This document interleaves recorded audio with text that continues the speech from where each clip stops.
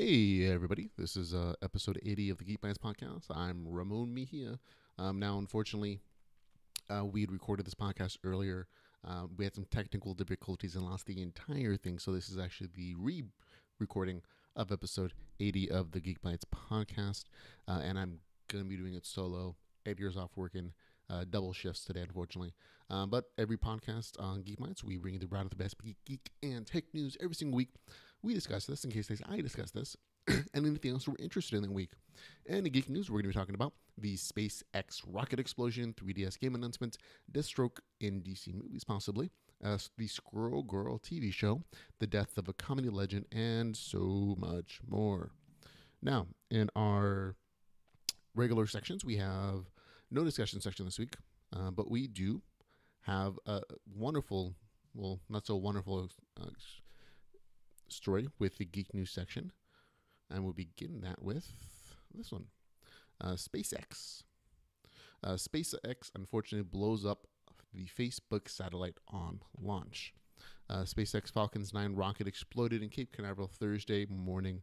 On board was Facebook Internet.org satellite, which experts estimate cost $95 million. That's a fortunate hit for Mark Zuckerberg. Uh, in a post on Facebook, CEO Mark Zuckerberg said that he was deeply disappointed. Uh, that's kind of an understatement when you look at that video. Uh, it is $95 million down the drain for Facebook alone, uh, not to mention what uh, SpaceX and Elon Musk is kind of feeling right now with the loss of an entire rocket system. Uh, that's, that's a much, much deeper cut for them. Uh, now, our next story is going to be talking about the, a different kind of explosion, an explosion of phones. Uh, this one re- involving Samsung. Uh, Samsung has confirmed that it is recalling a Galaxy Note 7, its newest smartphone, following reports on th- that some devices um, have exploded due to overheated batteries. Uh, the device was launched less than a month ago uh, to very positive reviews, but the concern about the battery in some units which has combusted while exploding or while charging rather, has forced the company to make a, a, blanket recall of all the Note 7s. They've sold over 2.7 million devices so far, and you should be able to exchange your Note 7 for something like the S7 within the week, according to Samsung. Now, uh, our next story after this one is a little more EU-ish. Uh, the EU says that Apple has illegal tax breaks and they want them to pay all that money back. Uh, this week, the European Commission was ruled that Ireland granted illegal tax breaks and the company owes 13 billion euros or 14.5 billion dollars US in back taxes to them. Uh, the commissioner of the European Commission said that member states cannot give tax benefits to select companies and that this is illegal under EU state aid rules. Uh, Ireland and Apple disagreed with the verdict, of course, and they plan to appeal the decision. Uh, CEO Tim Cook responds to the ruling this is total political crap. So, uh, classic Tim Cook there. I understand the confusion about international tax laws and how some countries kind of uh, entice tech companies onto their shores with low or almost no taxes in some regards. Uh, but this is pretty big on that respect. So hopefully, you know, they can get all that sorted out and everybody can be happy at some point. Okay, uh, our next story is going to be involving Nintendo 3DS Direct. Uh, Nintendo had a wonderful special event this week posted exclusively on the 2016 titles for the 3DS. Uh, so they weren't talking about the new Nintendo NX at any point. And yes, it's still around. Uh, they released more footage for Pokemon Sun and Go, or sorry, Sun and Moon rather. Uh, more footage it's going to be out November 18th, 2016. So if you're into that one, you definitely want to check out the footage from that event. Uh, also, Super Mario Maker is heading to the 3DS December 2nd, 2016, as is going to be Mario Party Star Rush, which is the 3DS version of uh, Mario Party. Uh, Mario Party Rush Star Rush is also compatible with the Mario series of amiibos. That's the one with the red base. Uh, Legend of Zelda 30th anniversary is coming up, folks, and Nintendo's doing some special things for it if you're a fan of the series. You're excited for this. Um, first, there are going to be some new amiibos, including 8 Bit Link, Ocarina of Time Link, uh, Link and Zelda from Wind Waker, and they're all going to be, of course, available December 2nd in time for Christmas. How delightful of them. Uh, additionally, there's going to be a new art book released uh, that Zelda theme from Nintendo. So if you're into the art style of all those Zelda games, that might be a purchase or a purchase for some of you love. Um, as a surprise, Nintendo is also releasing Legend of Zelda Skyward Sword on the Wii U, and it's available now on uh, E a Nintendo eShop today. So good for you guys.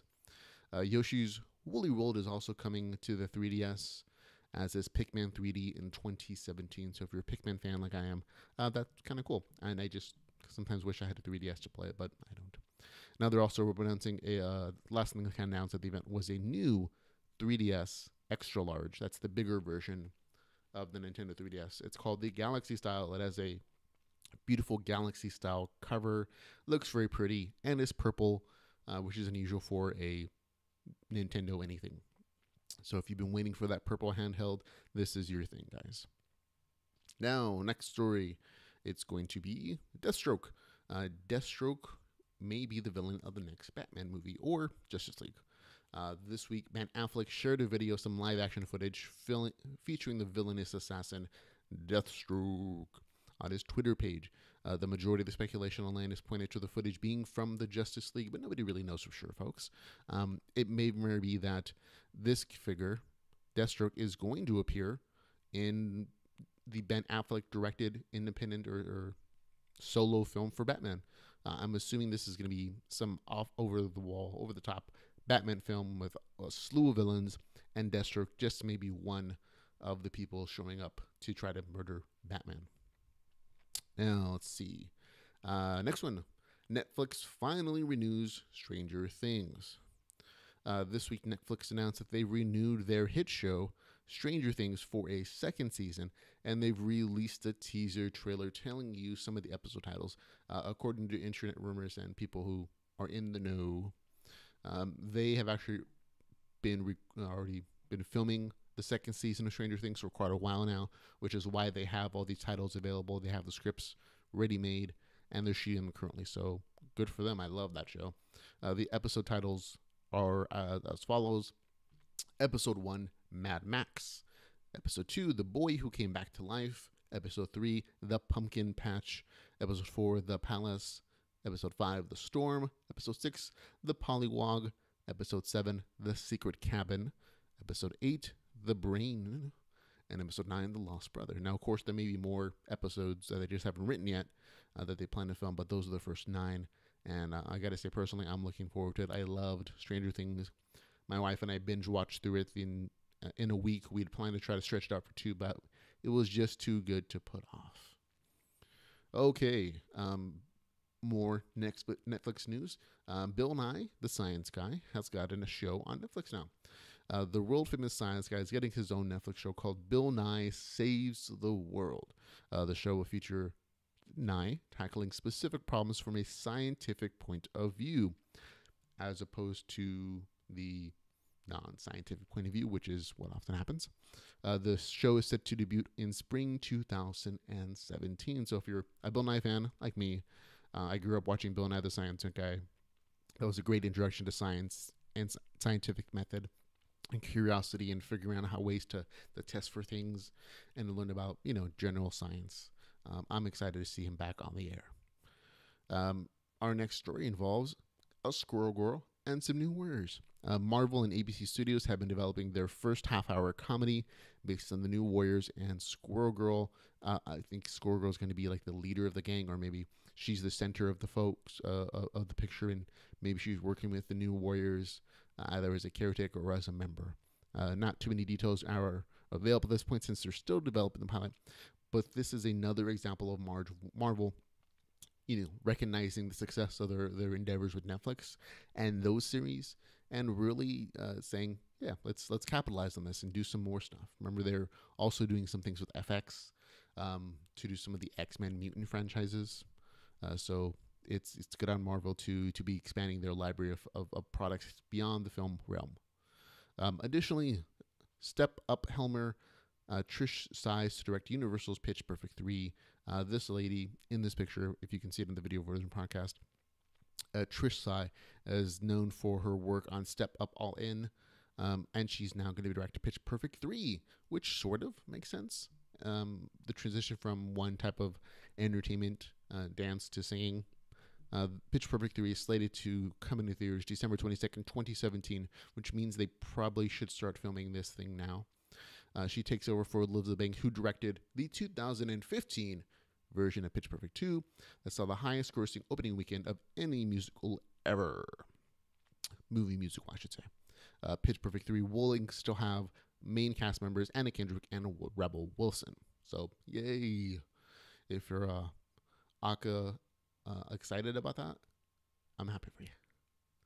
Uh, Karen Gillan joins the new Jumanji movie. This is kind of a bit cooler story for me. I'm a big Doctor Who fan personally.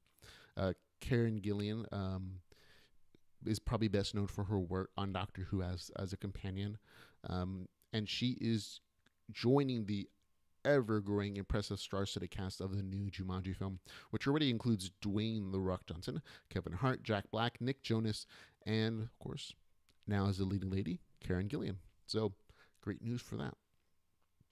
Now, the uh, this one is kind of a fun story that I thought was cool. Uh, the MMA League that includes armored night fighting. Uh, the organizers of Russia's M1 Global League are applying the concepts of the uh, mixed martial arts, which is supposed to be a, a free form of just kicking people's butts in an octagon ring uh, with some varying, you know, rules and pads and stuff. Um, these guys are definitely padded. Um, if you watch the clip, um, you can see these guys just going to town on each other in full body armor, um, medieval version style. So they're plate mails, chain mail, um, leather, studded, from a very variety of periods. And these guys are going at it um, realistically. The swords are blunted, the shields are real, the armor's real. Uh, so hopefully they're not getting too damaged, but they're really wailing on each other in the styles of, of sword fighting and that they know. Um, this is not fake. Uh, they're they're going to town on each other in, in any way they can. Um, and these most of these guys are going to be reenactors who are taking it to the next level of actual combat um, fighting kind of stuff. So this is totally up my alley as, as a fantasy sword and sorcerer fan. Uh, so I'm I'm excited to see this kind of thing. I'm, I, I enjoy MMA for the same reasons. It's it's real brutal, realistic, and if you're in the kind of thing, this is this is definitely going to be up your alley. So I definitely check it out um, if you can. Um, next story: Tower of Terror to close. If you're a Disney fan, this is very sad, but don't worry, uh, you're getting something new in its place. Uh, the immensely popular Twilight Tower of Terror uh, is going to close in California Adventures January 2nd, 2017. That's the one in in, in Anaheim, California.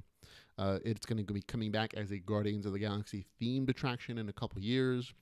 Um, but to give it the nice f- uh, farewell that it deserves, uh, starting September 9th of this year and running till October 31st of this year, guests will be treated to a special late checkout. Well, they will experience the ride in total darkness. So it's a fun way to kind of give the ride a send off. If you happen to be in the area of, uh, Anaheim, California, um, come on, step by, go to Disneyland, have a nice little go on the Tower of Terror before it disappears. Uh, now, unfortunately, our last story is going to be about um, a loss in the community of actors and comedians.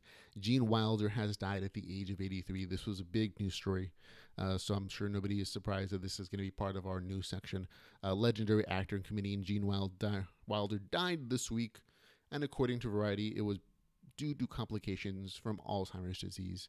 He was 83. He will definitely be missed. He is a classic comedian that holds a special place in, in most moviegoers' hearts who've seen his work. Uh, probably best known for his work in Willy Wonka and the Chocolate Factory, but he had a, a massive career, um, dozens of movies, uh, comedian, great actor. He will miss, of course. Now, AMC is honoring uh, Gene Wilder by showing uh, probably two of his most popular movies, Willy Wonka and the Chocolate Factory and Blazing Saddles, this weekend only at 55 locations throughout the United States, with tickets costing five dollars only. So it's a great price, um, and might be your last chance to see those classic movies on the big screen uh, this weekend only. Of course, uh, check your local local listings for that opportunity. And that's gonna be for Geek News this section, folks. If you like the podcast, you can always help support us at uh, geekbytespodcast.com forward slash support.